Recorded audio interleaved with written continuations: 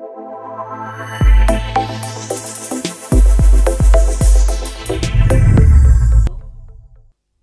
الله الرحمن الرحيم. الحمد لله الذي هدانا لهذا وما كنا لنهتدي لولا أن هدانا الله.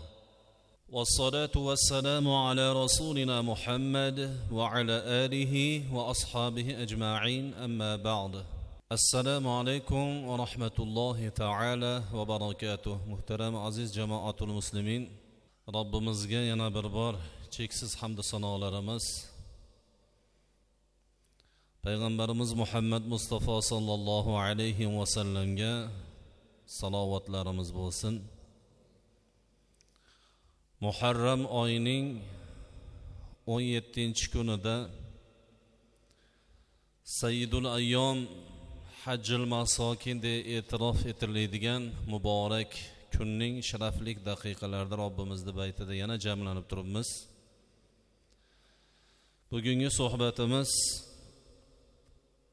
judayam go'zal mavzulardan bir muborak oyi karima tafsiri ya'ni baqara surasini bir yuz yetmish yettinchi oyatini inshaalloh baholi qudrat alloh qodir qilganicha tafsir qilib ulamolarimizni asarlaridan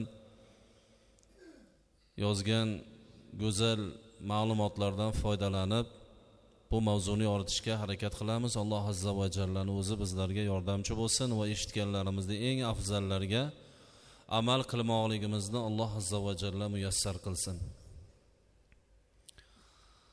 Baqora surasini ushbu oyati bilan tanishamiz. Astaidu billah. ليس البر أن تولوا وجوهكم قبل المشرق والمغرب ولكن البر من آمن بالله. من آمن بالله واليوم الآخر والملائكة والكتاب والنبيين.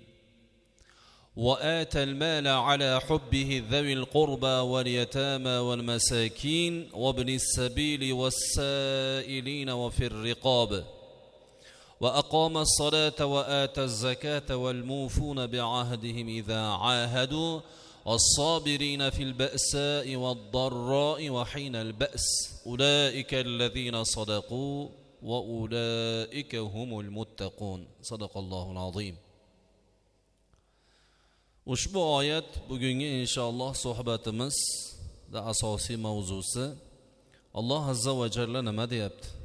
Laysal birra an tuvallu vujuhakum yuzlaringizni mashriq va mag'rib tomonlariga burishingiz yaxshilik emas. Balki balki.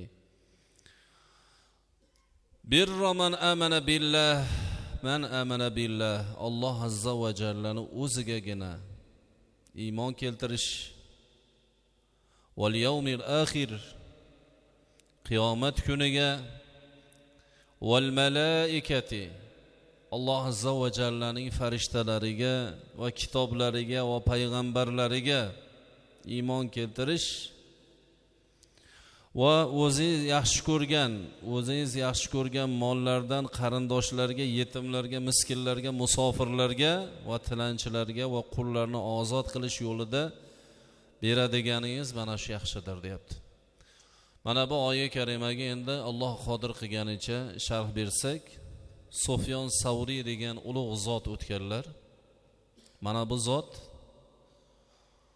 rahmatulloh alayh aytadilar. Ushbu oyi karimani doim o'qib turib aytar ekanlar yaxshilikning barcha turi shu oyatda mujassam. Kim yaxshilik qilmoqchi bo'lsa xayr ishlarni go'zal amallarni bajarmoqchi bo'lsa hamma yaxshiliklarni alloh azza va jalla savob amallarni shu oyatga jamlab qo'ygan deb aytar ekanlar ibn kasir rahmatulloh alayhi mana mashhur tafsir bor. Ibn kasir degan tafsir bor. Mana shu ibn kasir rahmatulloh alayhi aytadilar. Kim shu oyat bilan sifatlansa ya'ni shu oyatni kim hayotiga tadbiq qilib shu oyat bilan yashasa va unga amal qiladigan bo'lsa islomni barcha sohalariga kirib yaxshiliklarni boshini tutgan bo'ladi. Dunyodagi qanaqa amal bo'lsa islomdagi qanaqa chiroyli amal bo'lsa hammasini boshini tutgan bo'ladi ushbu oyat bilan sifatlangan va ushbu oyatga amal qilgan zotlar deydilar. Endi ko'p aytamiz solih amal deganda solih amal deganda ko'plarimiz tushunib qolganmiz. Faqat namoz ro'zani solih amal deymiz va qolgan amallar sekin chetga surib qo'yiladi. Ro'za bilan namozga kuch beramizda qolgan amallarni sekin chetga surib qo'yamiz. Yoki zakot haj va shunga o'xshagan amallarda faqat ibodat masalalarni dinimiz buyurgan deb o'ylaymizu qolgan amallari bizga taalluqli emas deb qo'yamiz. Yo'q aslida mana hozirgi oyatda alloh taolo eng chiroyli o'zi rozi bo'ladigan amallarni alloh azza va jalla buyuryapti bizga. Demak solihlik bilan taqvodorlik. Solih bo'lish uchun taqvodor bo'lish uchun biz faqat ibodatga bog'lanishlikni tushunib qoldik xolos. Ya'ni bandachilik qilishlikni tushunib qoldik xolos. To'g'ri banda bilan allohning o'rtasidagi tuzilgan shartnomalar bor. Namoz o'qish hajga borish ro'za tutish va hokazo. Bu bizni majburiyatimiz. Bu ham taqvodorlik to'g'ri. Lekin solihligini bu judayam tor ko'rinish xolos. Solih inson bu kimda aytadi desa o'zidan ko'ra boshqalarni manfaatini ko'proq o'ylaydigan odam haqiqiy solih inson bo'ladi. Payg'ambarlarni hayotiga qaraylikda payg'ambarlar faqat ibodat qildimi? Toqqa chiqib faqat ibodat. Hech kimni bilan ishi bo'lmasdan ibodat qildimi? Yo'q. Payg'ambardek zotlar payg'ambardek zotlar butun bir vujudlarini butun bir moli mulklarini shijoatlarini o'zlari uchun emas kelajak ummat uchun hozirgi va kelajak ummat uchun baxshida qildilar. Mana buni solihlik deydi mana buni payg'ambarlik yo'li deydi. Mana faraz qilaylikda biz jamoatga chiqib namoz o'qiyapmiz juma o'qiyapmiz hajga boryapmiz ro'za tutyapmiz va hokazo shu amallarni qilyapmiz. Ummat uchun aytaylik nima foydasi bor buni? Bu o'zimiz uchun hatto farzandimizga ham foydasi tegmaydi bu ishimiz. Hoji bo'lsak o'zimizga. Namoz o'qiyab turgan bo'lsak o'zimizga ro'za tutyab turgan bo'lsak o'zimizga. Lekin hech qanday bir ummatga foydasi yo'q buni. Foyda bo'lishi uchun solih amal solih inson nima amal qilish kerak desa mana bu oyi karimalarga amal qilish kerak. U bizni majburiyatimiz bizni birligimiz bizni olloh azza va jallaga buyurgan biz uchun buyurib qo'ygan hukmlarni bajarish. Endi asosiy solihlikni ushbu oyatdan izlaymiz. Azizlar demak alloh taolo ibodatni ham buyurdi ibodatni ham buyurdi chiroyli amallarni ham buyurdi. Va o'zini haqqini ham va bandalarni haqqini ham buyurib qo'ydi. Ya'ni eng birinchi o'rinda turgani nima? Alloh taolo aytyapti valakinnal birra man amana billah. Va lekin yaxshilik shuki man amana billah alloh azza va jallaga iymon keltirish. Bilib olaylik shuni. Iymondan o'tadigan amal yo'q. Iymonimiz bor ekan shu amallarda jamlanib turibmiz. Iymonimiz bor ekan alhamdulillah alloh azza va jallani yolg'iz deb bilyapmiz sherigi yo'q deyapmiz allohga iymon keltiryapmiz. Demak islomdagi eng birinchi amalda olloh qayerda buyurgan bo'lsa mana amana billah deydi. Alloh azza va jallaga iymon keltirish. Endi ba'zi bir botil bo'lib ketgan dinlarni e'tiqodi boshqa. Man amana billahni boshqacha talqin qiladi. Alloh saqlasin ollohni xotini bor deydi ollohni o'g'li bor deydi va hokazo. Bu shirk aqida. Allohu somad bizni robbimiz hamma narsadan xotindan ham behojat boladan ham behojat. Imom boqir rahmatulloh alayh mashhur ulug' zotlardan muhammad boqir ya'ni katta imomlardan. Mana bu zot judayam ko'p insonlarni iymoniga sabab bo'lgan zotlardan. O'sha kishini cherkovni rahbari ya'ni masihiylik dinini rahbari chaqiradi. Huzuriga chaqirishdan maqsad bahs qilish uchun. Chaqirganda birinchi kirishligidan qoidada egilib kirilar ekanda ularni huzuriga. U kishi teskari bo'lib kiradi teskari machakka kiradi. Va birinchi so'rashgani yaxshimisiz? Xotiningiz yaxshimi? Bola chaqangiz yaxshimi? Rohibga beradigan holati shu ya'ni rohib bilan muloqoti shu bo'lyapti. Hol ahvol so'rash.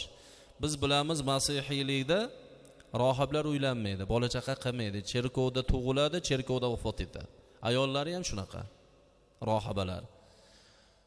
Shunda yonidagilarni jahli chiqadida aytadiki e nima deyapsan? Axir bu rohibni bola chaqasi yo'qligini xotini yo'qligini bilasanu? deganda ana endi savollaringga javob. Bitta rohiblaringda xotin bola chaqasi yo'q bo'lsa bizni robbimizni qanday xotini bo'ladi qanday bolasi bo'ladi?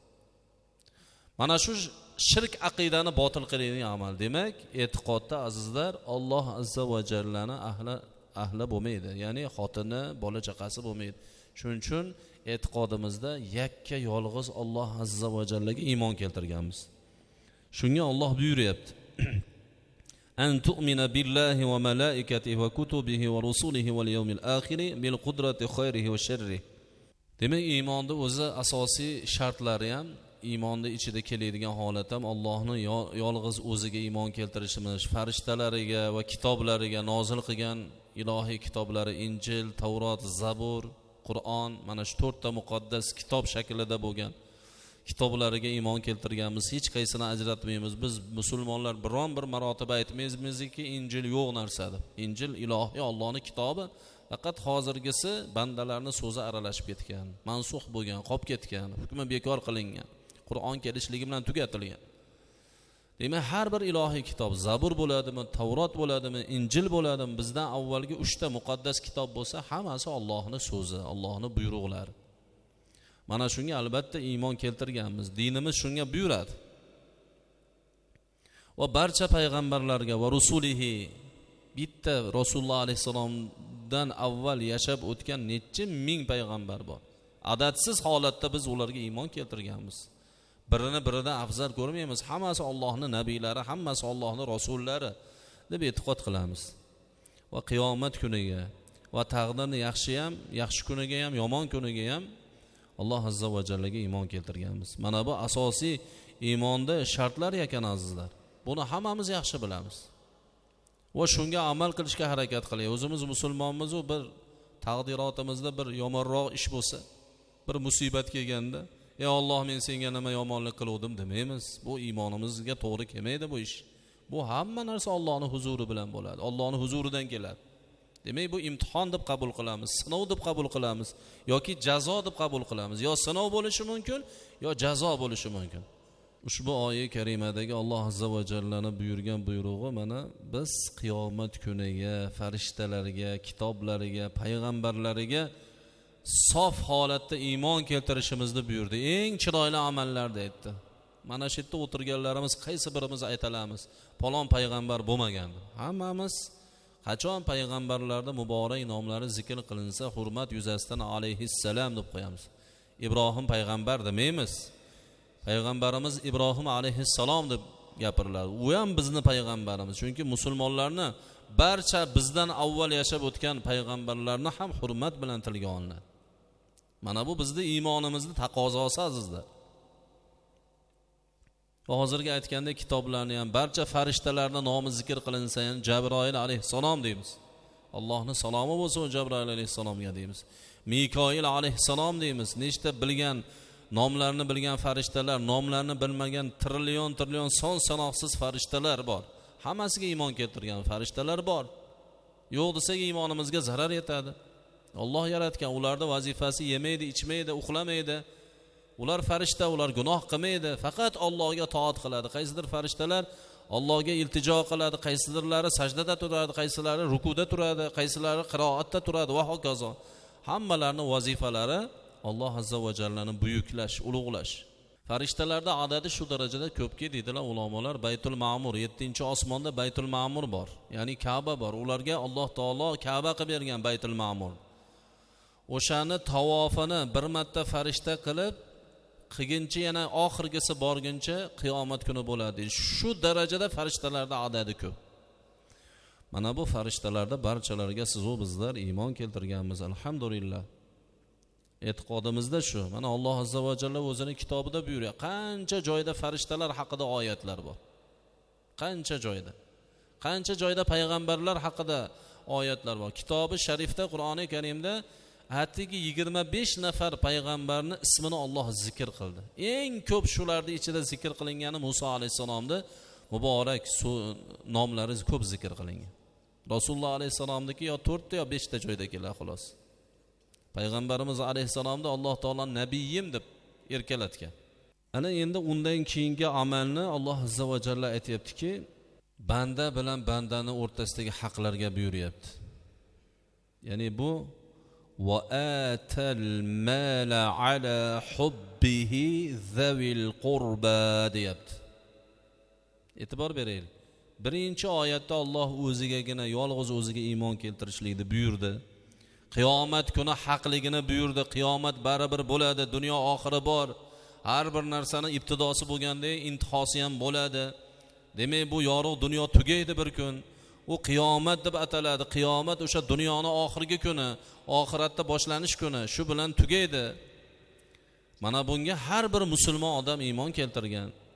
Va farishtalarga kitoblariga barcha payg'ambarlarga ana endi e'tiqodimizni mustahkam qilgandan keyin alloh azza va jalla bizga buyurgan buyrug'i shu bo'lyaptiki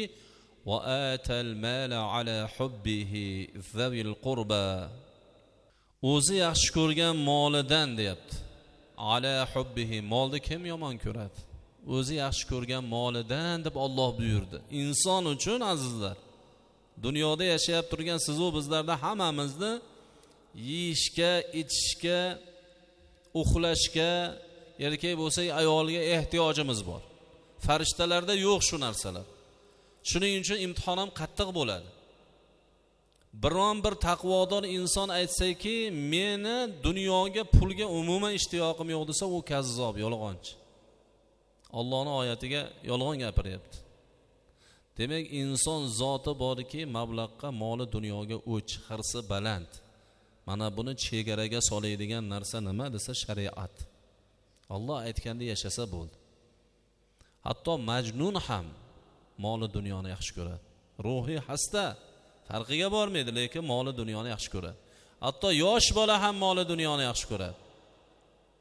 Pulda ajratmasada pulni katta kichikligini juda yaxshi biladi. Demak bu hirs. Hatto jonzotlar ham tillo ko'p joylarda ba'zi bir jonzotlar bosib yotadi. O'shandan bilib qoladi ba'zi bir insonlar ba'zi bir mutaxassislar.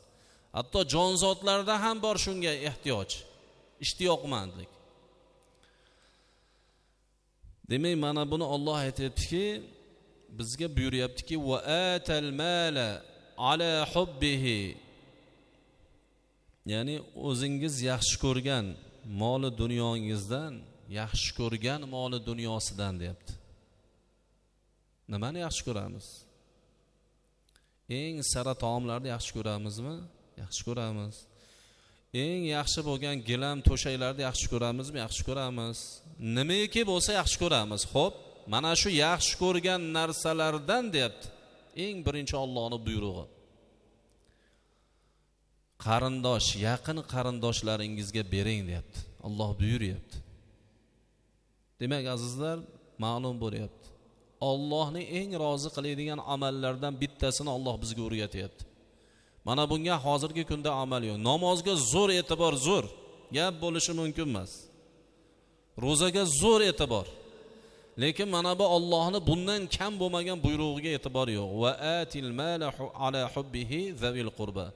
O'zingiz yaxshi ko'radigan molingizdan yaqin qarindoshlaringizga bering deyapti olloh buni siylay rahm deydi. Ota tomon ona tomon. Ota tomonidan qarindoshlar va ona tomonidan qarindoshlar bo'ladi. Mana bular eng yaqindan boshlab bo'laveradi. Amaki bo'ladimi tog'a bo'ladimi xola bo'ladimi ketaveradi. Biz yaxshi ko'rgan olloh bizga ne'mat qilib bergan narsalardan ularga ham berishlikka alloh taolo buyuryapti. Nimaga buyuryapti? Birinchi o'rinda jamiyatni rivojlanishligi qarindoshlardan bo'ladi. Qarindoshlik aloqasini mustahkam bog'lasak ana jamiyat rivojlanadi musulmonlar taraqqiyotga erishadi. Yaqin qarindoshlar bir biri bilan yuz ko'rmas bo'lib ketsa buni jamiyatga hech qanday foydasi yo'q balki zarari bor. Qancha yillik ibodati bo'lsa ham. Barakani o'chiradigan narsa ayni shu. Sili rahm uzildimi alloh taolo o'sha yurtga barakani o'chirib tashlayveradi shuning uchun olloh buyurgan amal o'zingiz yaxshi ko'rgan mollaringizdan yaqin qarindoshlaringizga bering. Nimaga ayni biz yaxshi ko'radigan moli dunyo? Chunki inson muhtoj. Nimaga muhtoj? Boshpanaga muhtoj. Kiyim kechakka muhtoj. Yaxshi taom ichimliklarga muhtoj. Hozirgi zamonaviy aytganda moshinai markablarga muhtoj telefonlarga muhtoj. Va hokazo ketaveradi. Insonni ehtiyoji tugamaydi. Mukammallashib ketaveradi. Demak insonni shunga ehtiyoji bor. Nimaga ba'zi birlar uylanolmaydi desa ehtiyoji o'shanga yetmayapti qoplanmayapti. Kelinga bergani mahri yo'q kelinni uyiga olib kelgani bir sharoiti yo'q va hokazo uning uchun harakat qilyapti. Demak insonni ehtiyoji bor. Bir biriga insonni ko'magi lozim bo'ladi. Olloh behojat bizni ibodatimizga olloh zor emas. Qilsak o'zimiz uchun qilamiz. E'tiqodni to'g'irlab olaylikda g'ururlanmang men ollohga mununcha yil ibodat qildik. Zarracha ollohga foydasi yo'qmi? Bu biz uchun bu olloh buyurgan ekan qilyapmiz. Lekin bandani bandaga ehtiyoji bor azizlar. Shuning uchun ko'p aytyapmiz yana aytaveramiz.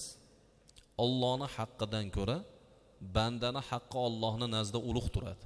Ollohni ehtiyoji yo'qda lekin bandani ehtiyoji bor. Xotinni erga ehtiyoji bor. Ko'chaga chiqib ishlolmaydi ayol kishi. Imkoniyati cheklangan erkakdaqa pul topa olmaydi erkakdaqa boquvvat emas. Yarim kechalari ham ko'chalarda qolib ketolmaydi u. Shomdan keyin o'zi o'zini yomon otliqqa chiqadi. Demak ayolni o'z öz o'zidan erga ehtiyoji bor. Yosh bolani otaga ehtiyoji bor. Taloqni qo'yavermaylik ha ha deganda. Yosh bola otani mehriga tashna onani mehriga tashna. Yaxshi shirin farovon hayotga tashna.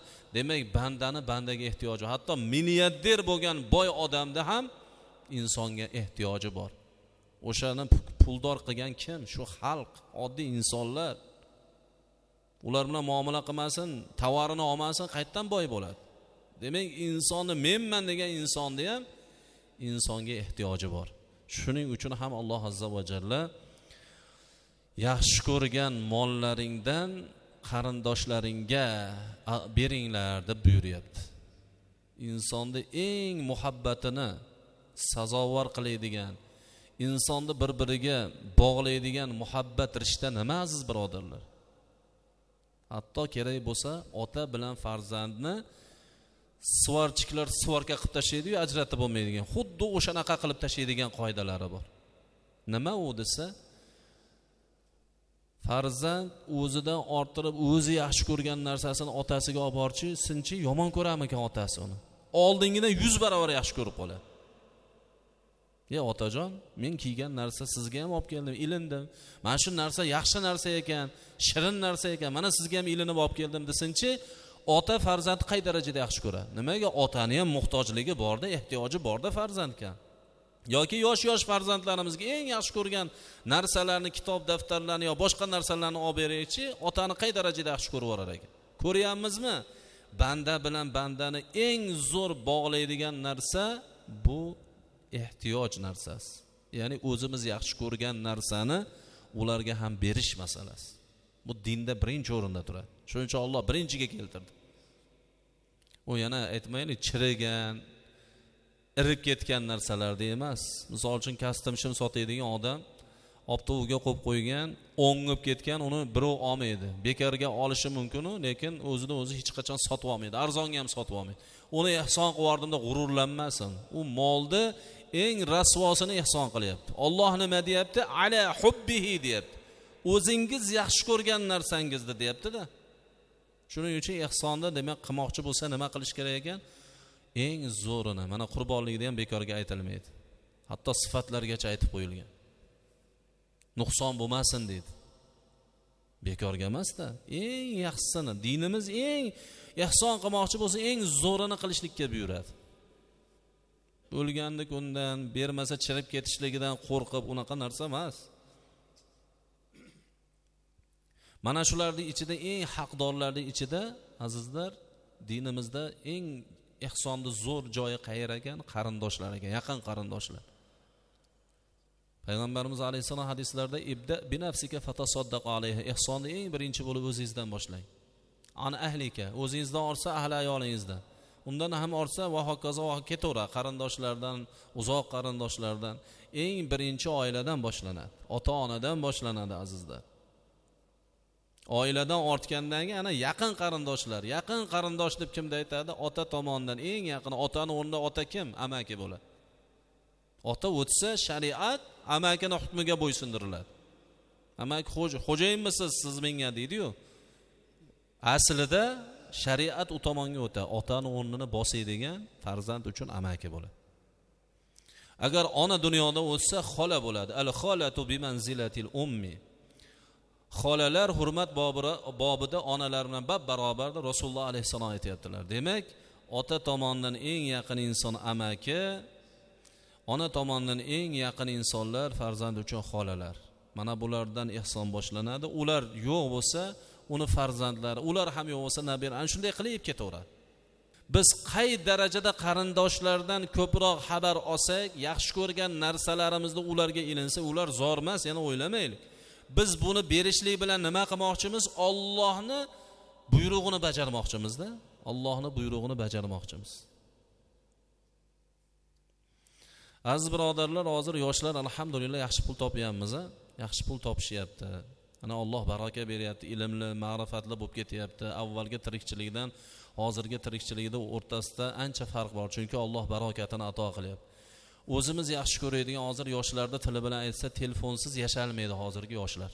Qolgan hamma narsasiz yashayveradi hozirgi yoshlar telefonsiz yasholmaydi.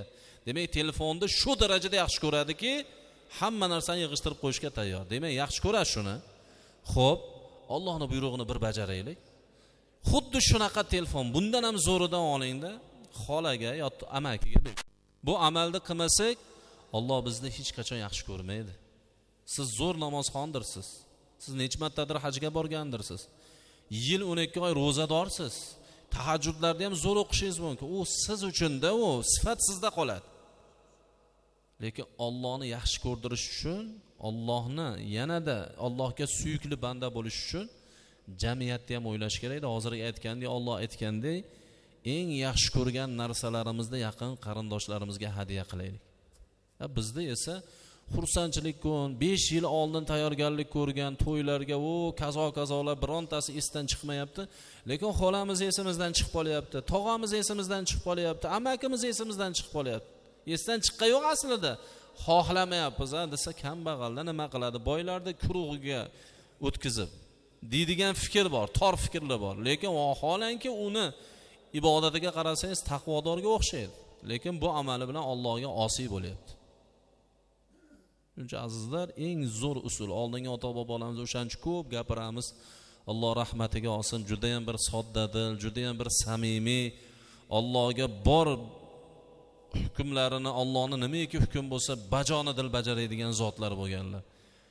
Farzandlarni yetaklab yurib qarindoshlarini tanitardi. Bu palonchi u uzoq qarindosh bo'ladi o'zi aslida. Hozir aka uka eng yaqin qarindosh shariat bo'yicha. Eng yaqin qarindosh aka uka hisoblanadi. Undan yaqini bo'lmaydi. Amakidan ham yaqin aka uka aka uka bir birini tanimaydigan bir yilda bir ko'rishmaydigan aka ukalar nechtasini sanab beraylik aziz birodarlar? O'zimiz bilgan nechtasini sanab berishimiz mumkin hozir? Hech ikkilanmasdan. Ha oldingilar eng uzoq qarindoshlarni ham farzandlariga tanishtirib yurgan. Men o'tib ketsam bular bilan muomala qilib turgan bu bizni qarindoshimiz deb. O'shancha olloh barakani to'kib qo'yganda sakson so'm oyligu lekin dunyoga yetgan u narsa. Yana aytamiz u paytda arzon yo'q xato bu arzonchilik emas. Arzonchilik bo'lmagan. Olloh barakani to'kib qo'ygan. O'shaning uchun umuman tashvish oilaviy masala umuman bu masalalarni o'ylamagan chunki olloh berib qo'ygan ollohni u buyrug'ini bajardi shuning uchun olloh to'kib qo'ydi. Hozir endi mana qarang. Shuncha ne'matlar shuncha pullar milliard milliard puli bor odamlar qani halovat qani rohat bechoralar rohatni nimaligini bilmaydi. Ha desa vaqtim yo'q deydi. Vaqtim yo'q deydida me'tanda yigirma to'rt soat navbat kutadi. Bankka kirib nechadir soat navbat kutadi. Olloh jazolayapti ularni ollohni aytganini qilmagani uchun. Siylai rahamga biz vaqt ajratmasak olloh behuda narsalarga bizlarni mashg'ul qilib qo'yadi. Kutib o'tiraverasiz keyin. Umringiz o'tib ketadi shu bilan.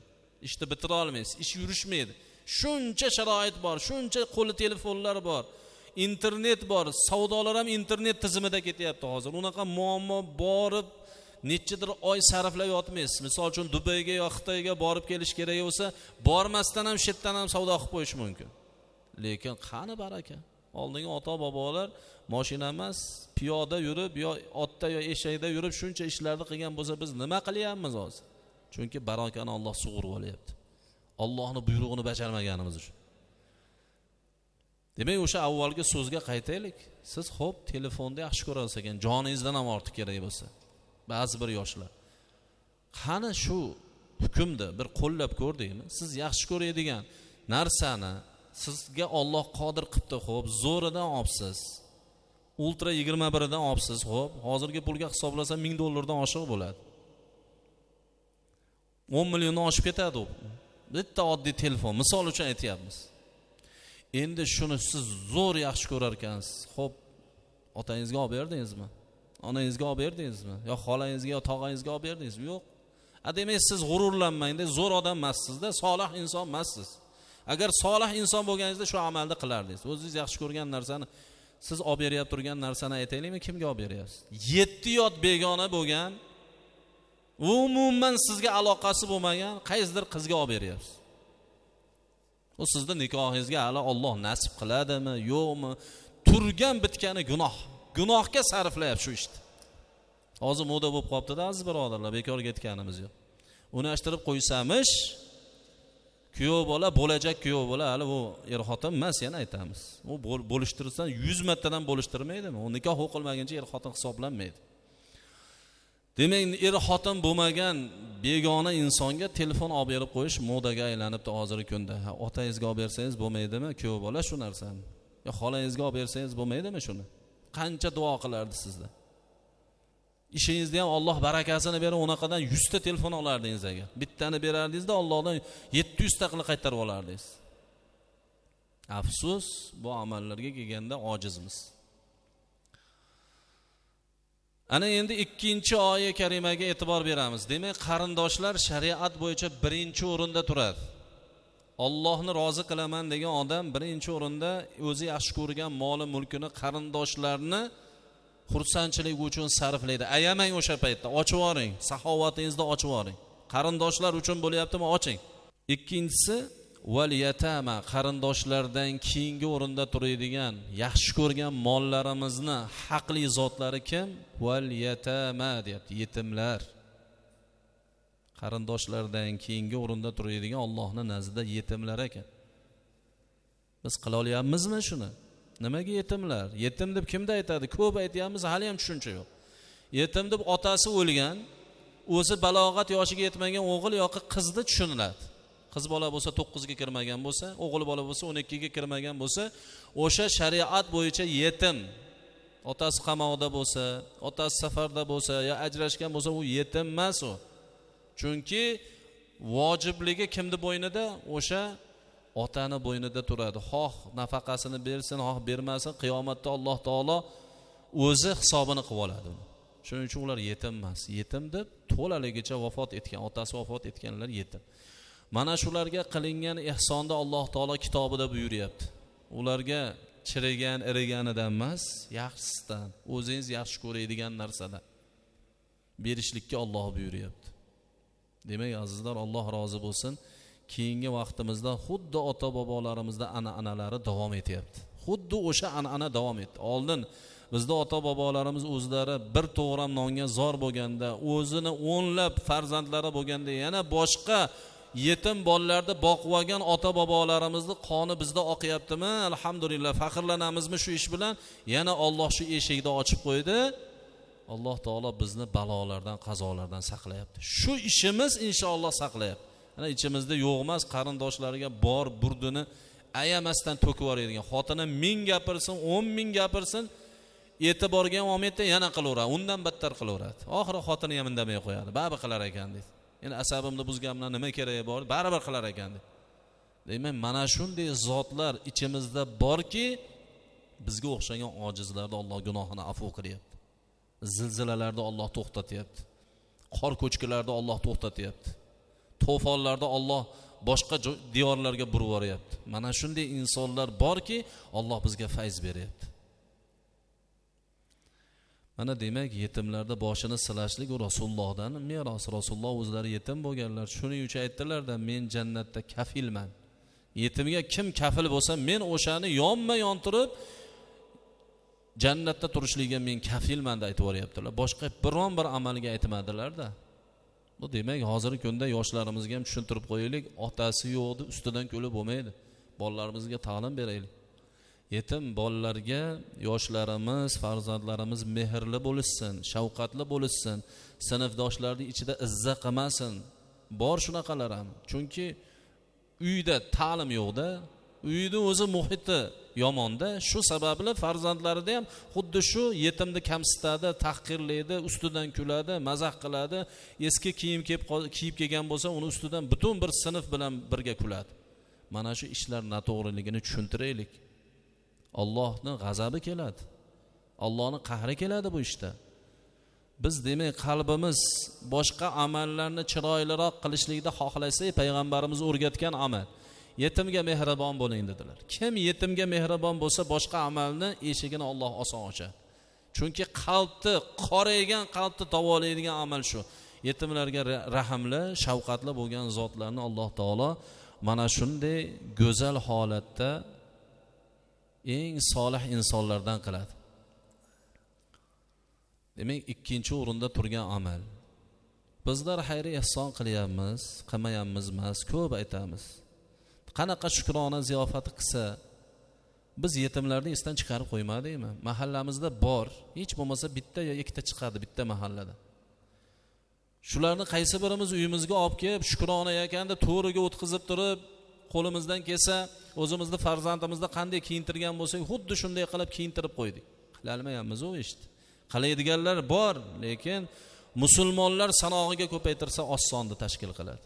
Azizlar mana ehsonni joylari shu. Bildirmaydi. Razmerini bilib boshqasini qilib ayol kishi bo'ladigan bo'lsa beva bo'lsa ayolingizni o'rtaga solib mana shuni bilib pulini bering va kiyintirib chiroyli qilib mana maktab kelyapti maktab vaqti boshlanyapti. Ular o'ksimasin otasi bordan ko'ra yaxshiroq yursinki shariat shu tomonda bo'ladi. Demak shariat otasi o'tgan yetimlarni ham esidan chiqarishni xohlamaydi. Mana shunga olloh roziligini izhor qilyapti. Kitobida buyuryapti payg'ambarimiz men kafilman deyapti. A bu ishlar azizlar talashib qilinmaydimi? Ustiga usta nechtadir talashib qilinadigan ishlar emas. Mana oziq ovqatini bir oylik xarajatini bir oy bemalol uyda yetkazib bemalol taom pishirib beradigan darajada yetimlarga agar bir oylik oziq ovqatini qilib bersak qancha afzal amal. Mana yaxshi ko'radigan narsalaringdan deyaptida. Yaxshi ko'ramiz u. Biz yaxshi narsalarni yeyamiz ular ham yesin. Mana bu ishlar demak eng chiroyli ishlar. Bunga agar kuchimiz yetmasa ya'ni pulimiz bo'lmasa kiyim kechagimiz bo'lmasa ziroat ekinlarimizdan bu narsalar bo'lmasa demak endi nima qolyapti bizda? Xizmat qolyaptida. Hech bo'lmaganda quruq bo'lsa ham o'sha yetim bolani ko'rganda boshini shunday silab qo'yaylik. Sochidan sochi bizga barmog'imizga nechtasi ilashgan bo'lsa faraz qiling besh yuzta sochi silandi. Besh yuz daraja daraja ko'tariladi gunohlarni olloh afu qilib yuboradi. Har bir soch dalolat bo'ladi maqom ko'tarilishiga. Quruq silayapsiz xolos siz mana shuni ham qilaylik hech bo'lmaganda. Mana bu shariatdagi eng chiroyli amal. Bizda esa nima deymiz? Ba'zilarimiz ha yetimlarga shuncha ish qilgandan ko'ra masjidni o'ngarsak bo'lmaymi masjidni o'ngarib qasr qilib qo'ysak xudo rozi bo'lmaydi bizdan. E zo'r qilib qo'yibsiz u masjidda unday bo'ldi qasr bo'ldi palon narsa bo'ldi. Yo'q rozi bo'lmaydi. Olloh muhtoj emasda bunga. Lekin yetimlar uyma uy izlab ijarachini qosh qovog'iga qaraganligi uchun bunga bee'tibor bo'lganimiz uchun xudo bizdan so'raydi. Ba'zi birlar tushunmayaptida masjid qilish farz deyapti unisi nima aksi bo'ladi. Masjid qilish mustahab amal. Xalqdan ortsa qilinadi bo'lmasa majburiy emas.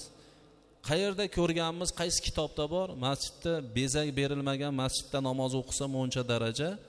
Qasr bo'lgan hashamatli hamma narsasi mukammal bo'lgan masjidda namoz o'qisa muncha daraja degan joyini kim aytib beradi? Qani ichimizda bironta ahli ilm bo'lsa turib aytsin. Sharoiti mukammal bo'lgan masjidda mununcha savob sal bundayroq masjid bo'lsa muncha savob degani bormi? Yo'q. O'sha loydan suv olgan masjidda o'qisangiz ham o'sha ajr qasr masjidda o'qisangiz ham o'sha ajr. Faqatgina bundan mustasno uchta masjid bor. Masjidil harom masjidi nabaviya va masjidil aqso. Uchalasiga teng keladigan masjid qolgan hamma masjid yer yuzida bir xil hukmda bo'ladi. Qishloqda masjid ham o'sha hukmda yonidagi hashamatli masjid ham o'sha hukmda. Lekin buni ajri biz yaxshi ko'radigan narsalardan ko'proq e'tibor beradigan narsa mana shu chirillab turgan beva boshi bilan qayerga borishni bilmay turgan. Agar ozgina bee'tibor bo'lsak bolani roziligi uchun bolani kelajagi uchun yomon yo'lga qadam bosib yuboradi o'sha beva ayol. Ketdi endi ummatga o't ketadi buni. Shuning uchun shariatni eng birinchi qo'ygani val yatama deyapti alloh taolo. Yetimga yaxshi ko'rgan narsalardan xayrixoh bo'lish. Alloh rozi bo'lsin bu ishda ham alloh rozi bo'lsa mana shu jamoatda o'tirgan qancha yoshlarimiz hatto yoshi ulug' yetmish sakson yoshli insonlar butun bir tumanimizda hozir hissa qo'shmagan qishloqlarda o'zi qolmadi.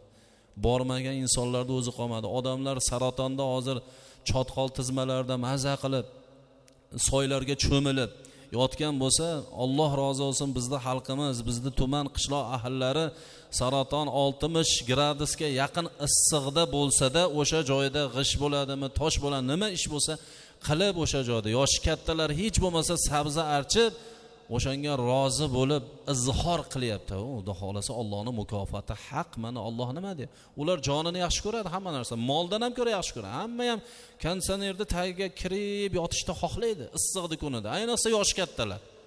Anchagina jismonan zaiflashib qolgan yoshlardan ko'ra ular bu issiqqa chidolmaydi. Lekin o'shanday bo'lsa ham bo'yniga olib turib o'sha joyga borib bu zarur ekan deb borishligi bu ollohni yaxshi ko'rishligiga hujjat bu aziz birodar. Hech ham xafa bo'lmaylik. Inshaalloh bu ishlarni hali mukofotini yaqin kunlarda alloh taolo ko'rsatadi. Dunyoda ham ko'rsatadi inshaalloh oxiratda ham. Shuning uchun biz eng baxtli inson bo'lsak xato bo'lmaydi. Sabab mana ollohni ikkinchi buyrug'ini bajar birinchi eng yaxshi amal qarindoshlarga yaxshi ko'rgan narsamizdan ehson qilish bo'lsa ikkinchisi yetimlarda olloh birinchi bo'lib zikr qildi. Begonalarda ehson qilaman degan odamniki eng zo'ri yetimlar bo'ladi. Shuning uchun xudoya qilyapsizmi ehson qilyapsizmi aziz birodar eng birinchi bo'lib bitta tovoqqa oshni olib qo'yingda yetimi bor xonadonga berib yuboring. Eng katta savob shu. Oldini bering go'shtini ham ko'p qilib berib yuboring. Inshaalloh mana shu ishda agar biz odat qilib olsak bu arzimasmi baribir xalqqa yegizib yuboring baribir otib ham qolib ketyaptiyu bir tog'ora ikki tog'ora. Uvol ham qilib yuboryapmizu u ha undan ko'ra eng uvol qilmaylikda oldini birinchisini. Qolib ketganini emas. Eng birinchisini qolib ketganini ajr bo'lmaydi. O'ylamaysiz bitta to'y qiluvdingiz bir xayr ehson qiluvdingiz bir tog'ora osh qolib ketdi. Eng qiynalganga bersangiz ham savob bo'lmaydi undan. Nimaga?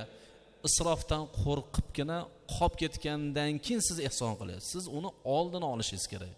Eng birinchi bo'lib. Hatto domlalarga kirishdan avval ham eng birinchi bo'lib buzilgandan keyin oshni tayyor olgandan keyin eng birinchisini olib qo'yganingizda ana buni ajri katta bo'ladi. Mana shunga odat qiling. Yoshi ulug' keksa yoshdagi insonlar bor. Ularni yo'qlashimiz kerak. Mana bu eng chiroyli eng savobli amal bo'ladi. Mana shuni odat qilishimiz kerak. Ana keyingisini alloh taolo aytyapti. Val masakina. Miskinlarga. Yetimlarni birinchi zikr qildi. Miskin kim? Miskin deb uyi ham yo'q joyi ham yo'q xotini ham yo'q bola chaqasi ham yo'q. Bir kunlik oziqasi bor xolos. Hozir ulamolarimizni nazdida bir kunlik oziqa o'ttiz ming yo qirq ming so'm pul deyilyapti. Taxminan ellik ming ham deylik oshig'i bilan aytaylik. Ellik ming so'mga bitta och odam to'yadida hozirgi kunda. Bemalol to'yadi. Ellik ming so'mga demak to'yadigan bo'lsa shu ellik minglik oziqasi bor xolos. Boshqa hech narsasi yo'q bo'lsa miskin bo'ladi. ellik mingdan oshiq puli bor yo narsalari bor yo to'shagi bor yo kravati bor u miskin emas u. Olloh aytyapti turgan miskin kim? Bizni yurtimizda yo'q u. Ko'rpasi ham yo'q to'shagi ham yo'q ko'chada yotadi ko'chada turadi va bir kunlik oziqasi bor xolos. Mana shuni shariat miskin deydi. Bir kundan oshiq oziqasi bo'lsa u faqir bo'ladi. Bizda hozir kam ta'minlangan oila deydiyu xalq tilida. Uni kimda aytadi? Shariat bo'yicha ular faqir deyiladi ular. Miskindan ancha darajasi ortiq. Demak och odamga ehson qilishlikda olloh kitobida buyuryapti. Afsuski bizda hozir bu yurtlarda bunaqa miskinni ehtimol bitta toparmiz yo ikkita topamiz lekin topolmasligimiz aniqroq. Miskin bo'lish juda qiyin. Shuning uchun miskinlarga alloh taolo yo'qsillarga qiynalganlarga agar yaxshi ko'rgan moli mulklarimizdan beradigan bo'lsak bu judayam katta savob ekanligini olloh buyuryapti. Keyingisi vabni sabil. Vabni sabil degani lug'aviy ma'nosi yo'l bolasi degan yo'l bolasi. Yo'l bolasi kim mana hozirgi kunda rossiyada ishlab turgan birodarlarimiz bor yo opa singillarimiz bor yo qozog'istonda yo boshqa diyorlarda umuman dunyoni qaysi mintaqasida bo'lsa ham ishlayapti o'zidan boshqa hech narsasi yo'q. Pulini bermayapti. Uyiga ketay desa hech narsasi yo'q. Uyida lekin yetarlicha oziqa bor u yo'l bola. Mana shu musofirlarga ham qilingan ehson eng katta shariat bo'yicha ehsonlardan sanaladi. Nimaga? Uni hozir yonida yo'qda. Uyiga yetib olsa yetarlicha bor lekin yonida yo'q. Biletiga pul yetmayapti. Yegani taomiga hech narsa yetmayapti. Chuv tushib qolgan. Kimnidir qo'lida bir yil ishladi pasportini olib qo'ygan hech narsani bermadi muttahamga yo'liqib qoldi. Shuning uchun u hozir eng zaif holatda mazlum holatda turibdi. O'shani yo'l bolasi deydi shariat. Zakotga ham eng haqli odam shu. Ehsonga ham eng haqli odam shu. Shuning uchun aziz birodarlar ba'zi bir holatlarda kimnidir yo'lovchilarda benzini tugab qoladi yonida puli bo'lmaydi. Bilmagan holatda har xil holat bo'ladi. Moshinasini baloni puli bo'lsa ham oziqa bilan chiqqan bo'lsa ham o'sha kutilmagan holatlarda o'sha balon olib qo'ygan bo'lishi mumkin yo boshqa narsa bo'lgan bo'lishi mumkin hatto yoqilgiga ham pul bo'lmaydi.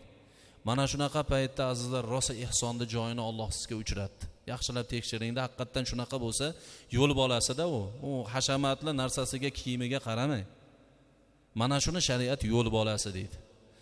Mana shunday insonlarga demak qilingan ehsonda alloh taolo eng mukammal darajadagi ehson deb o'zi kitobida mana shularga yaxshilik qilishlikka olloh buyuryapti. Bu eng chiroyli amal. Musofir odam ko'chada qolsa qanday xunuk ish. Ko'chada yotyapti faraz qiling musofir odam. Gostinitsaga borib mehmonxonaga borib yotgani puli yo'q uni. Ko'chada yotyapti. Bizga oriyat emasmi uyimizga olib kirolmayapmiz. Mana shunday holatlarda darhol uyga olib kirib borimizni tashlab mehmon qilib ana bir kecha tunab yotishiga va hojati bitishiga yordam qilib yuborsak dunyodagi eng chiroyli amalni qilgan bo'lamiz. U odamni hech qachon siz esingizdan chiqarmang doim haqqingizga duo qiladi. Ana musulmonlar bir biriga ishonch mana shunaqa og'ir kunlarda bilinadida. Shuning uchun olloh alohida zikr qilyapti. Vassailin deyapti olloh keyin. Vassailin degani bizni tilda gadolar deydi yo tilanchi deydi. Endi hozir zamonaviylashib ketib qoldi. Oldingi tilanchilar bilan hozirgi tilanchilarni farqi bor. Shariatda tilanchilik qilishlikka ruxsat yo'q magar bir o'rinda bor. Qanday o'rinda desa bir kundan kam oziqasi bo'lsa tilanishga haqqi bor. Bir kundan kam oziqa boshqa hech narsasi yo'q. Mana shunday odam tilanchilik qilsa bo'ladi deydi. Lekin hozirgi kunda uyga borsangiz adashib qoladigan darajada bo'lsa buni kasb bo'lgan bo'lsa bular shariatdagi vassailinga kirmaydi bular bular balki o'ziga har kuni yetmishta faqirlik eshigini ochyapti. Buni kasb qilib oldimi? Bitta so'radimi bandadan? U rahmingiz keldi siz endi tushunmaysiz u va haqiqatdan ham shu joyi deb o'ylaysiz olloh menga uchradi deysiz berib yubordingiz u o'rgangan sizdan oldin yuzta odamni shunaqa qilib tushirgan. Ho'p bu har bir odamdan tilanganda olloh yetmishtadan eshikni ochaveradi faqir u odam hech qachon boy bo'lib ketmaydi o'ylamasin. Hech qachon bunday odam boy bo'lib ketmaydi. Musulmonlarni sadaqasi evaziga yolg'on gapirib ollohni muborak nomini o'rtaga qo'yib qo'ygandan keyin iloji yo'q ehson qilib yuboradida musulmon odam. Eng yaxshi ko'rgan zot biz uchun olloh azza va jallayu. Olloh uchun degandan keyin iloji yo'qda endi. Bular buni juda yaxshi biladi. Shuning uchun bu ishlarimiz yaxshi emas. Jamiyatda tilanchilar ko'payishiga sabab bo'ladi birinchi amal. Ikkinchi o'rinda o'sha odamni dangasa bo'lib o'sishiga sabab bo'ladi va naslni buzilib ketishiga sabab bolasi ham xuddi shu yo'lni tanlaydi keyin. Shuning uchun azizlar bu masalada hozirgi zamon ulamolari ta'biri bilan aytganda hozirgi kunda bunaqani topish qiyin. Boshqa mamlakatlarda bo'lishi mumkin hindiston va boshqa boshqa diyorlar. Lekin hozirgi diyorda yo'q. Hatto saudiyada ham yo'q. U tilanib o'tirganlarda sizdan ko'ra mablag'i kuchliroq. Buni faqat kasb qilib olgan xolos. Shuning uchun azizlar mana bu masalaga ham alohida e'tibor berish kerak. Vafir riqob deyapti alloh taolo. Riqob degani qullarni ozod qilish degan. U kimnidir quli hozirgi kunda quldorlik tuzilib tugab ketgan lekin qo'shtirnoq ichidagi quldorlik tugagan yo'q. Kimdir bitta firibgar olib boryaptida yaxshi nomi chiqqan ustani olib boryapti pasportini olib qo'yyapti shundaycha sotib yuboryapti egasiga. Bir yilga sotib yubordi. Bir yil u bechora zanjirlab bo'lsa ham ishlatib keyin pasportini qaytib beradi mana shularni ozod qilishda sarflasak hamkorlikda qancha ajr bu ham. Eng katta savob mana shunaqalar ko'payib ketyapti shuning uchun hushyor bo'laylik. Eng yaqin do'stini sotib borib sotib yuboryapti boshqa joyiga. O'zini ham qishlog'ini sotib yuboryapti vaholanki ular davo qiladi oldi safda o'tirishlaydi bir chaqaga qimmatda bu nima degani bu endi? Yana nima deyish kerak ularga? O'zicha eng yurtda obro'li insoniga o'xshaydiyu lekin mahalladoshini sotib kelgan o'zini erki hur odamni qulga aylantirib sotyapti. Buni nima deyish mumkin? Shariat bo'lsa eng chiroyli amal quldorlarni yo'qotib ya'ni bitta jarima qilib qo'ysang qulni ozod qil deb alloh taolo kitobida nozil qilaverdi. Qilaverdi abu bakr siddiqdek zotlar usmon ibn affondek zotlar bor mulklarini sahobalar juda ko'plari qul edi bilol ibn raboh zayd ibn horisa va hokazolar. Mana bularni hammasini olloh uchun ozod qildilar. Bir marotaba aytmadilar seni men ozod qiluvdim yaxshilikni bilmading demadilar. Hatto hayollarni bir chekkasiga ham keltirmadilar. Chunki ular olloh azza va jallani roziligi uchun qilgan bu ishni islom demak o'sha paytda quldorlarni eng birinchi bo'lib qarshi kurashib quldorlik jamiyatiga qarshi kurashgan shariat islom bo'ladi. Boshqa hech qaysi din buni uddasidan chiqolmadi tan olish kerak. Tarixchilar ham e'tirof etadi. Islom yo'qotdi bu narsa. Lekin hozirgi kunda ba'zi bir taqvodorlar o'zini mahalladoshini yo rossiyaga olib borib sotyapti yo qozoqqa yo qirg'izga kimgadir qul qilib sotib yuboryapti. Eng qattiq gunohni shular qilyapti aslida. Lekin ular shu gunohni qilgan bo'lsa biz mana shu ishlar bilan mablag'imizni o'shalarni ozodligi uchun yo iltimosimiz bilan ularni ozod qilib erkini o'ziga berib qo'ysa yana qaytadan qancha ajr qilganimizni bilamizmi? Bitta musulmon birodarimizni eng mushkul vaziyatdan olib chiqib ketgan yo qamalishga yaqin qoldi tilni bilmaydi boshqa davlatda. Shunaqada azizlar sal yordam berish kerak musofirlarga ham. Indamay qiyshayib ketavermang. Bu bizni burchimiz bu. Robbimiz buyurgan burch bu. O'sha sijinga kirish ya'ni sijin degani qamoqqa kirish ham shu hukmda. Yarim qul bo'ladi salkam. O'shandan ozod qilishni ham savobi judayam katta narsa bu. Musulmonlar qiladigan eng zarur ishlardan bittasi shu. Mana bu eng zaruriy amallarda olloh sanadida ana endi keyingiga o'tkazyapti. Va aqomas soda deyapti. Namozni vaqtida qoyim qiling deyapti. Undan avval aytib bo'ldi amallar. Ya'ni yaxshi ko'rgan narsangizni qarindoshlaringizga yetimlarga miskinlarga yo'l bolalariga tilanchilarga va qullarga eng yaxshi ko'rgan narsalaringizdan sarflanglar deb olloh buyurgan bo'lsa ana endi undan keyin aytyaptiki va deyapti va aqomassola namozni vaqtida qoyim qiling deyapti. Va ataz zaka va zakotingizni vaqtida bering val mufuna bi ahdihim deyapti. Ana endi ahdlashgan bo'lsangiz ahdingizga vafo qiling deyapti. Vassobirina fil ba'sai og'ir yengil kunlarda ham sabr qiluvchilardan bo'ling deyapti. Og'ir kunda ham sabr qiling deyapti. Yengil xursandchilik kuningizda ham sabrli bo'ling shukurli bo'ling deyapti. Mana bularni olloh aytib aytib ulaikallazina sadaqu deyapti. Ayni o'sha bandalar iymonlarda sodiq insonlar o'shalar aslida. Va ulayka humul muttaqin ana o'shalargina taqvodorlar deyapti. Biz taqvodor desa faqatgina yuzi tasbeh ko'tarib yurgan odamni taqvodor demaylik azizlar mayli o'zini yo'liga taqvo ollohni buyrug'ini bajaryapti. Lekin haqiqiy taqvodorlar hozirgi aytgandek o'zi muhtoj bo'la turib qiyinchilikda ham tangchilikda ham olloh yo'lidagi toifalarga ehson qilib jamiyatni rivojlantirsa kambag'allikni qisqartirsa tekin tomoqlarda muttahamlarni yo'qotsa uni o'rniga mehnatga o'rgatsak mana shu eng zo'r narsa azizlar. Oldingi ulug'larimizni olloh rahmatiga olsin qanday bir ajoyib insonlar bo'lganlar. Hatto payg'ambarlarni ham kasbi bo'lgan payg'ambardek zotlarni ham. Insonlarning ichidagi eng ulug' zotlar e'tiqod bo'yicha payg'ambarlar bo'ladi. Undan keyinlar valiylar bo'ladi avliyolar bo'ladi ulamolar bo'ladi. Mana shularni hammasini hayotiga qarasak birovdan tama qilmagan hech qaysisi birovdan men payg'ambarman boqasan demaganda hech qaysisi qo'y boqqan yo mol boqqan yoki bo'lmasa savdo qilgan yo ziroat ekkan mehnat qilgan xullas tirikchilik uchun. Hatto dovud alayhissalom qur'onda eng ko'p zikr qilingan payg'ambarlardan. O'shanday zot ham temirchilik bilan non yeyardida temirchilik qilib payg'ambardek ulug' zot hozirgilar e men qora ish qilamanmi? deymizda. Ular bo'lsa payg'ambardek zot odamlarga temir yasab berib hojatini qilib mana shu bilan bola chaqa boqqanlar. Payg'ambarlar.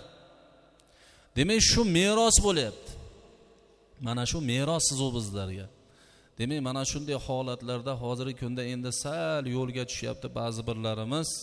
Mehnatga yoqmaydida ba'zi birlarda fikri ham buzilyapti. Ota onalarda ha desa o'qitib qo'ysak diniy ta'lim berib qo'ysak madrasada yo qur'on yodlatib qo'ysak bo'ldi oppoqqina yuraveradi hamma o'zi ehsoni kelaveradi. Bu noto'g'ri e'tiqod azizlar. Bu mutlaqo kim shu fikrda bo'lsa dunyoni o'zida topadi oxiratga quruq qoladi. Azizlar bu fikrdan yiroq bo'ling.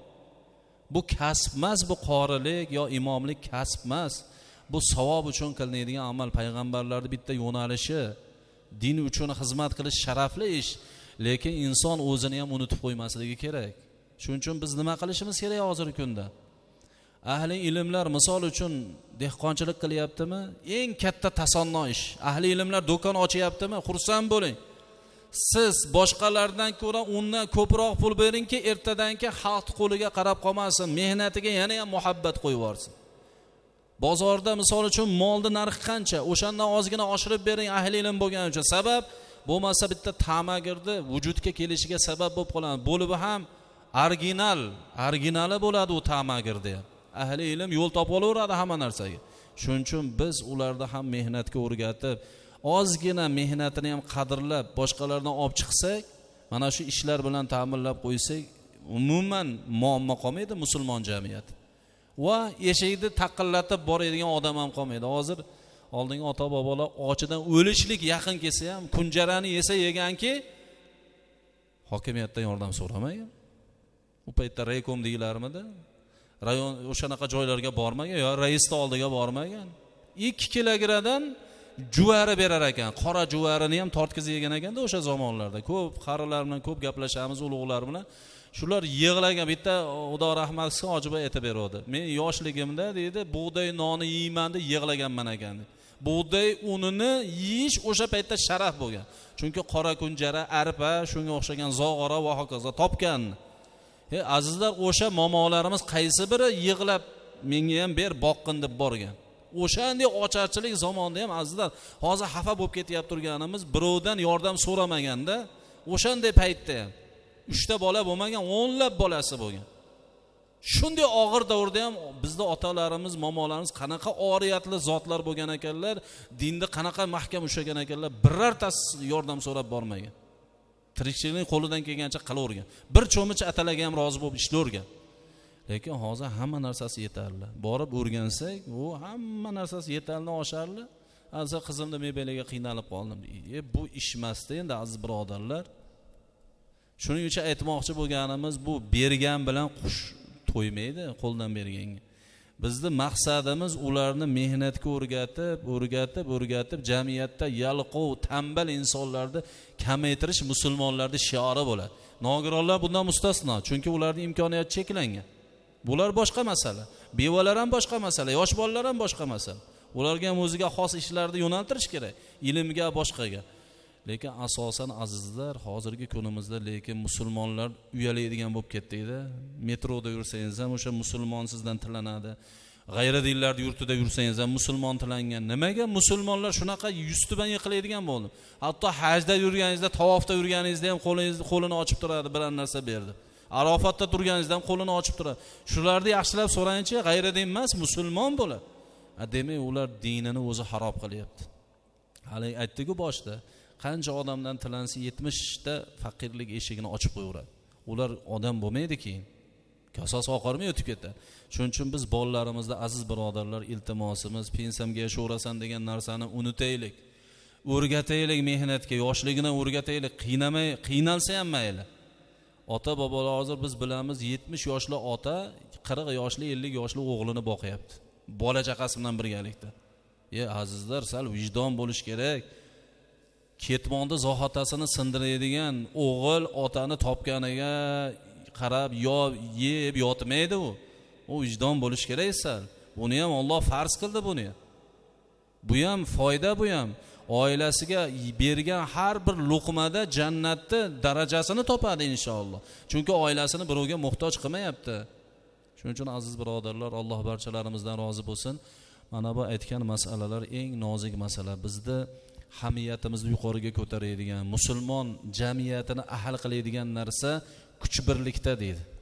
Ehson qilmoqchi bo'lsak eng joyini qilsak bo'lib ham haligi aytgandek qilsak ularni rag'batlantirsak ilmga boshqaga ana shunda inshaalloh tamagirlar safi yo'qolib ketadi. Barchalarimizda alloh mana bu eshitgan amru ma'ruf nahiy munkarlarda eng afzallarga amal qilmoqligimizni alloh muyassar muvaffaq aylasin va axiru davana alhamdulillahi robbil alamin va sallallohu ala xalqihi muhammad va ala alihi va ashabi ajmain. Bi rahmatika ya. Endi azizlarimiz ana shunday qattiq issiq bo'lishligiga shiddatli issiq bo'lishligiga qaramasdan alloh rozi bo'lsin. Mana o'tgangi safar ikkinchi bog'dod qishloq ahallari va mehnatobod ahallari to'rt kun besh kun hasharda navbahor bilan qo'shilganda besh kun hasharda qatnashdilar. Eng issiq vaqtlarda eng ko'p jamoatda to'plagan ham shu qishloq ahallari bo'ldi. Va o'n milliondan oshiq mablag'lari bilan bordi va ikki yarim mingta g'ishlari bilan bordi va oziq ovqatlari bilan o'zlari keksalarimiz ham mana shu o'zlari turib mana imom sharobiddin akam boshchiligida barcha hoji bolamiz birlashib ahillikda saqlab o'sha joyda judayam chiroyli xizmat qilib sizu bizlarni ham gunohdan saqladilar desak xato bo'lmaydi. Mana shu ishlarimiz bor alloh taolo musulmon jamiyatiga mana shunday fayzlarni barakalarni beryapti. Yana bundan tashqari to'ralar yurti deb nomlangan saytobod qishloq ahallaridan alloh rozi bo'lsin abdumalik xon akam boshchiligida bir kun judayam ko'p insonlar yoshlarimiz tashabbus qilib judayam qattiq uchinchi avgust kunida xizmatda turdilar va o'zlari bilan birga uch million olti yuz qirq ming so'm ehsonlari oziq ovqatlari bilan birga bordilar. Alloh ehsonlarni qabuli dargoh aylasin. Mana shunday yurtimizda peshqadam insonlarni alloh azza va jalla adadlarini ziyoda qilsin. Mana bugundan boshlab qirqivoldi qishlog'iga navbat keldi. Bugun juma bo'lishiga qaramasdan judayam ko'p qirqivoldi qishloq ahillari astoydil hasharda turibdilar. Demak juma kuni bugun shanba yakshanba dushanba to'rtinchi beshinchi oltinchi yettinchi kunlarida inshaalloh qirqiboldi qishloq ahillari xizmatda bo'ladilar. Sakkizinchi avgust seshanba kuni sho'rqishloq chorshanba payshanba juma shanba kunlarida esa amrobod qishlog'i va yakshanba kuni o'n uchinchi avgust esa bog'ishamol qishlog'i. Yana bir qishloqni sha'ni uchun o'sha yerdagi musulmonlarni sha'ni uchun musofirda yurgan birodarlarimizni sha'nlari uchun bir qattiq harakat qilaylik. Toinki mana bugungi kitobimizda bugungi mavizamizda chiqdi. Yetimlarga qilingan ehson judayam bir fayzli bo'lishligini mana hammalarimiz bildik. Alloh rozi bo'lsin bulardan hammalaridan. Endi muhtaram azizlar mana bu ishlarimizni alloh bardavom qilsin. yurtimizda elimizda qishloqlarimizda biron bir qiynalgan uysiz bo'lgan odamlar qolmasa hammalarimiz ahil bo'lib topganlarimizni yaxshi olloh rozi bo'ladigan joylarga masorif qilishligimizni alloh muyassar qilsin. Vassalomu alaykum rahmatullohi va barakatuh.